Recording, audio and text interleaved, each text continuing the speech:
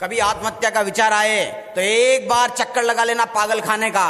ICU में लगा देना हॉस्पिटल के अंदर कि एक मरीज़ को बचाने के लिए, एक व्यक्ति को बचाने के लिए उसके परिजन कितनी मेहनत करते हैं, एक डॉक्टर कितना मेहनत करता है। आप कल्पना कर सकते हो, लाखों करोड़ रुपए खर्च कर देते हैं जान बचाने के लिए। इसलिए दोस्तों, ज़िंदगी से बड़ी कोई चीज़ नहीं होती।